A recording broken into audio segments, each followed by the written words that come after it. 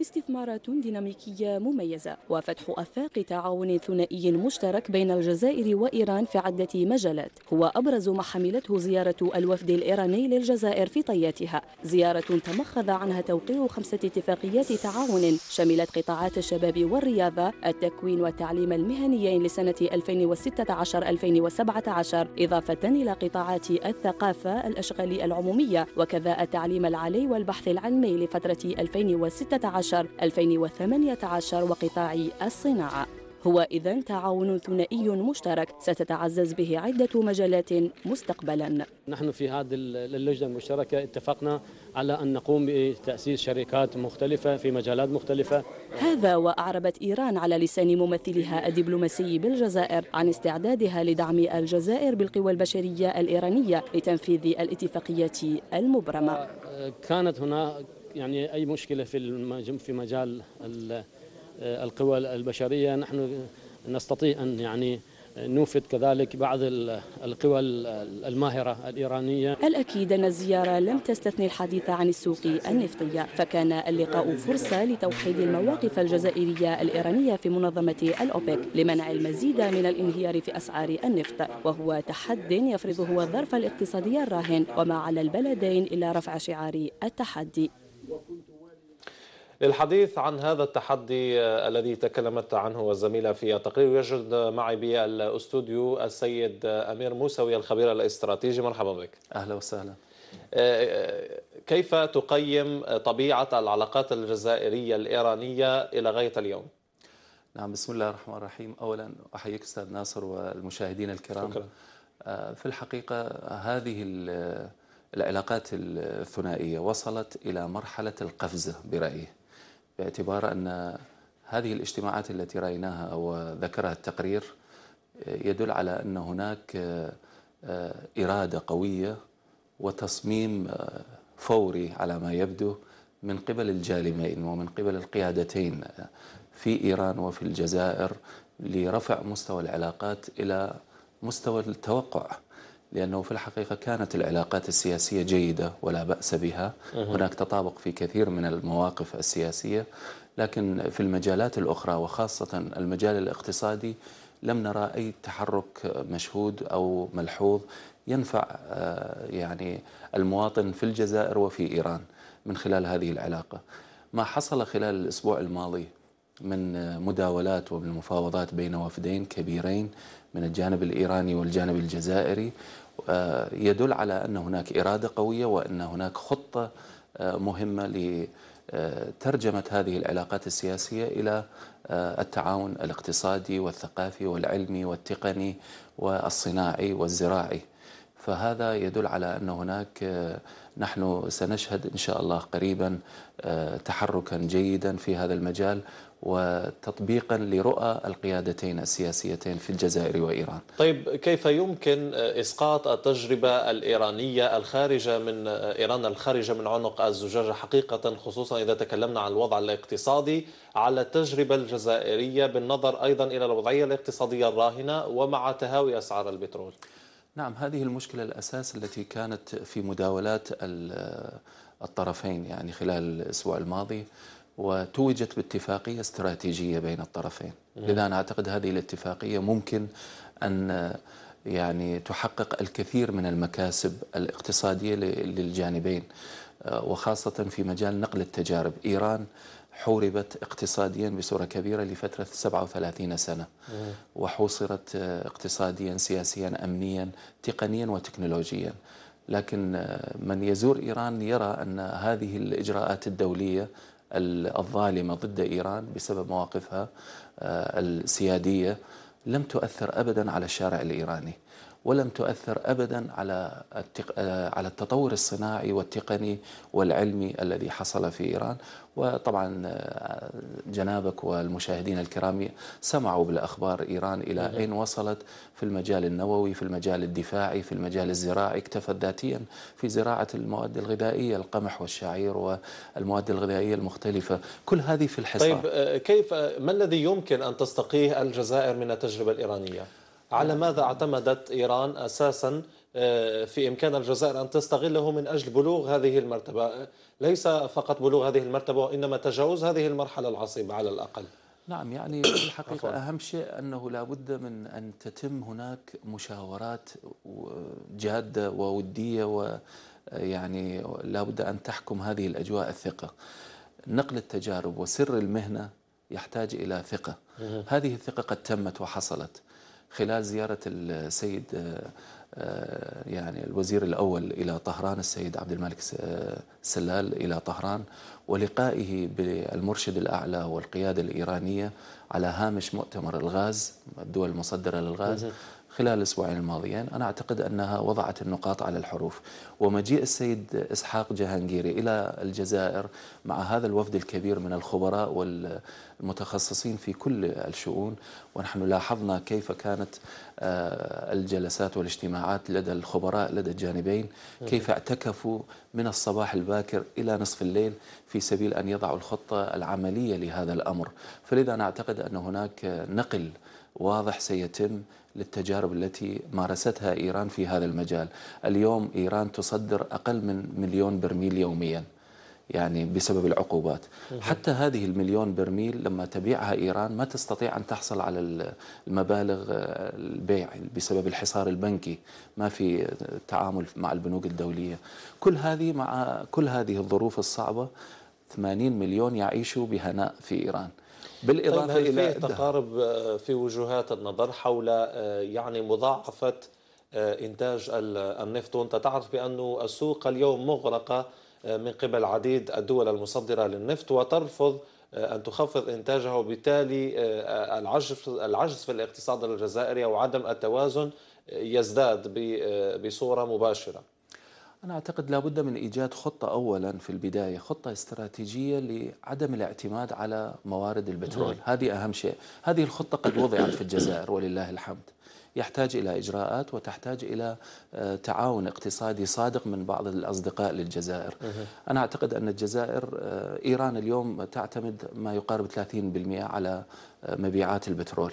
إذا 70% في بدائل. هذه البدائل موجودة في الجزائر إن كان في مجال البتروكيماويات في مجال الزراعة في مجال المعادن والمناجم في مجال الكثير من القضايا الإمكانيات البحرية. وبالإضافة إلى الخبرات الموجودة في الجزائر. اليوم الخبرات التي آه، تعرفنا عليها في الجزائر خبرات تقنية صناعية في النانوتكنولوجيا ما شاء الله يعني في تطورات كبيرة جدا تحتاج إلى آه، تكوين وتحتاج إلى ترجمة على الأرض. هذا أعتقد آه، ما تم التوافق عليه. فلذا أنا أعتقد خلال فترة وجيزة سيرى المواطن في إيران وفي الجزائر. النور في هذا المجال لو تم التطبيق بصورة صحيحة لأن الأمور وضعت بنصابها وبآليات تنفيذها. فلذا أنا أعتقد أن آه، هذه التجارب وتبادل التجارب ووضع الإمكانيات وقضية صندوق الاستثمار المشترك مثلا إحدى المشاريع التي ستنفذ مصنع السيارات هذا سيكسب ما يقارب 30 ألف فرصة عمل للشباب الجزائري. آه، بالإضافة إلى المواضيع موضوع الفلاحة وموضوع آه، الصناعة الصناعات الأخرى الصناعات التبديلية الزراعة في الجزائر المواد الفواكه والحمضيات والكثير من المحصولات بالإمكان أن تستبدل إلى صناعات تبديلية يرفع سعرها ويمكن تصديرها إلى الخارج وتكون إحدى البدائل آه، في الاقتصاد الجزائري كما حصل في إيران. فلذا أنا أعتقد هذه التجارب وضعت على على الطاولة. والحمد لله يعني أنا برأيي كان اللقاء الوفد مع فخامة الرئيس بوتفليقة في اللحظات الأخيرة من زيارته وضعت آه، فتحت الكثير من الآفاق وذللت الكثير من المصاعب. وأهم المصاعب التي ذللت في هذه اللقاءات الموضوع التبادل المصرفي والجمركي. هذا سيسهل الكثير في التبادل التجاري التعاملات نعم. طيب آه، ربما آه، الشغل الشغل أو الحديث يكثر بين المستثمرين الجزائريين وحتى المستثمرين الذين يريدون الاستثمار في الجزائر هو قانون الاستثمار أو دفتر نعم. الشروط الاستثماري هنا بالجزائر. هل يشكل هذا عائقا أمام المستثمرين الإيرانيين هنا بالجزائر؟ الجانب الإيراني رحب بهذا القانون وقال أنه هذا القانون الأمثل للتعاون. 51 الجانب الجزائري 49 الجانب الإيراني. لأن الجانب الإيراني قال الخبراء الاقتصاديين الإيرانيين قالوا أن هذا هذه التقسيم في الأسهم يساعد على أن الجانب الجزائري يسهل أكثر عندما يكون له سهم أكبر يسهل ويزيل الكثير من العقبات الموجودة خاصة في المجال البيروقراطية. فلذا طبعا هذا الأمر قد رحب به من الجانب الإيراني وتمت المشاركة ولاحظنا الكثير من العقود الصناعية والتجارية قد وقعت في هذه الزيارة.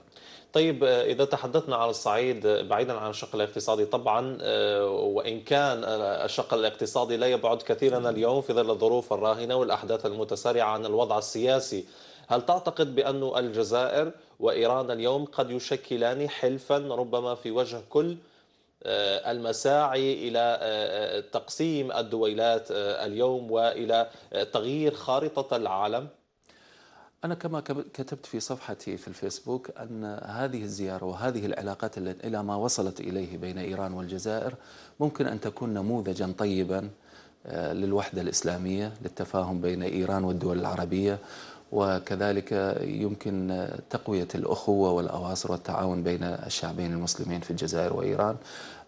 كذلك أنا أعتقد أن ما تم من الاتفاقيات تزيل كل هذه المخاوف الكاذبة التي أوجدت في العالم الإسلامي تفرقة الإسلامية وتقسيم الناس إلى مذاهب وإلى طوائف وإلى اتجاهات مختلفة. أنا أعتقد أن كل هذه الأمور غير صحيحة ويراد منها تغيير البوصلة بوصلة الشعوب الإسلامية عن آه، قضية فلسطين والكيان الصهيوني إلى الاقتتال بينهم وإلى عدم التعاون وإلى إزالة الثقة فيما بينهم.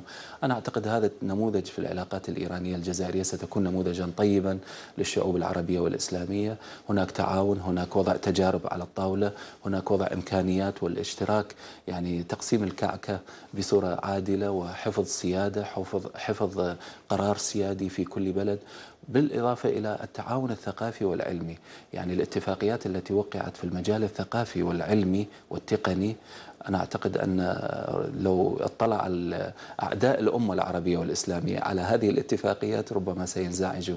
لكن أنا أعتقد أن هذه العلاقات وهذه الاتفاقيات كلها ستصب في صالح البلدين وفي صالح الأمة الإسلامية وفي صالح الشعوب العربية والإسلامية وسينتبه الكثير من الذين ربما لديهم بعض القلق وبعض بسبب هذه الأجواء الملبدة في المنطقة سيكتشفوا أن هذه العلاقة الأمثل هي وأن هذه العلاقة لا توجه ضد أي أي طرف آه، من الأطراف في المنطقة أو في العالم وإنما تريد أن تبرز مصداقية العلاقات الإسلامية الإسلامية لماذا هذا التباعد؟ لماذا عدم الاستفادة من تجارب الآخرين؟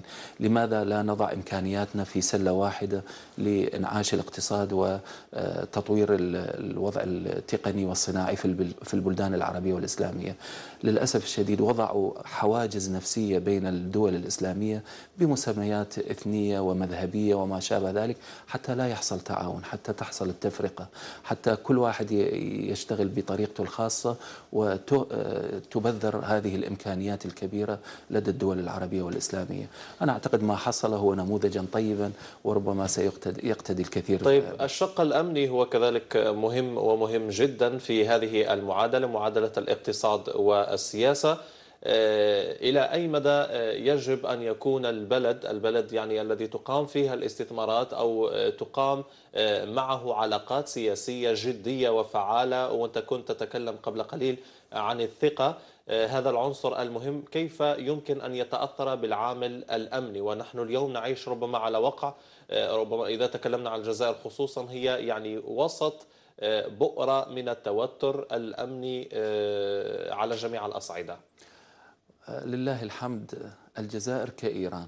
جزيرتين آمنتين في منطقة ملتهبة. إيران كذلك حولها كلها النيران ملتهبة. يعني في أفغانستان العراق وما ما نراه في المنطقة من مشاكل لكن نرى إيران جزيرة آمنة من الناحية الأمنية والاقتصادية والاجتماعية. التماسك الوطني الموجود في إيران. كذلك الجزائر. الحمد لله يعني بوجود اللحمة الوطنية المميزة في في الجزائر وقوة آه، القوات المسلحة والتفاهم بين القاعدة والقيادة. هذا كله يدل على أن هناك استتباب أمني موجود ويحسد عليه الجزائر ونتمنى أن يستمر هذا الأمر بوعي وإصرار الشعب الجزائري ومسؤولين الأمنيين على هذا التوجه الجميل. فلذا نعتقد أن ما يحصل الآن في الجزائر مشجع لأي استثمار أجنبي. القوانين جيدة جدا الوضع الأمني مستتب جدا اللحمة الاقتصادية والسياسية متفاهمة والاتفاقيات قد وضعت على الطاولة. بالإضافة إلى أن آه، يا أخي يعني كلنا إخوة. ما يصيب الجزائري يصيبنا وما يصيبنا يصيب الجزائري فلذا أنا أعتقد هذه الأمور آه، وإن كانت آه، يعني تطرح ربما في بعض الوسائل الإعلام المغرضة. أنا أعتقد نحن قد تجاوزناها والاستثمار سيبدأ منذ الأسبوع القادم. يعني في قرار مصرفي سيتم التفاهم حوله. الاستثمار الإيراني الجزائري سيبدأ ربما من الأسبوع القادم إن شاء الله. لماذا الأسبوع القادم؟ الإجراءات بعد الإدارية. نعم الإجراءات الإدارية ستتم. هناك وفد موجود في الجزائر لتدليل يعني بعض القضايا الإدارية. بمجرد أن يتم هذا ونحن نتوقع إلى نهاية الأسبوع القادم يبدأ الاستثمار بصورة رسمية إن شاء الله في الجزائر. هل يمكننا مشاهدة هذا سؤال أخير فقط؟ هل يمكننا ربما في المستقبل آه، يعني أن نلمس تعاون حقيقي في مجال النووي؟ آه، إيران أعلنت منذ زمن أنها بست يعني مستعدة لإعطاء تجاربها النووية للأشقاء والأصدقاء. ومن أفضل من الجزائر الشقيقة. أنا أعتقد الجزائر بحاجة إلى آه، صناعة الأدوية النووية خاصة المضادات للأمراض الخطيرة كالسرطان والإيدز وتحلية المياه آه، وموضوع آه، تحسين الزراعة. هذه كلها نووية طبعا. هذه الخبرة موجودة وخاصة في مجال النانو تكنولوجي هذه الإمكانيات موجودة. هناك مراكز بحثية في الجزائر يمكن يحصل تعاون جيد في هذا المجال. وأعتقد أن الخطوات قادمة إن شاء الله. شكرا جزيلا لك الخبير في الشان الاستراتيجي أمير موسوي شكرا على هذه المداخلة.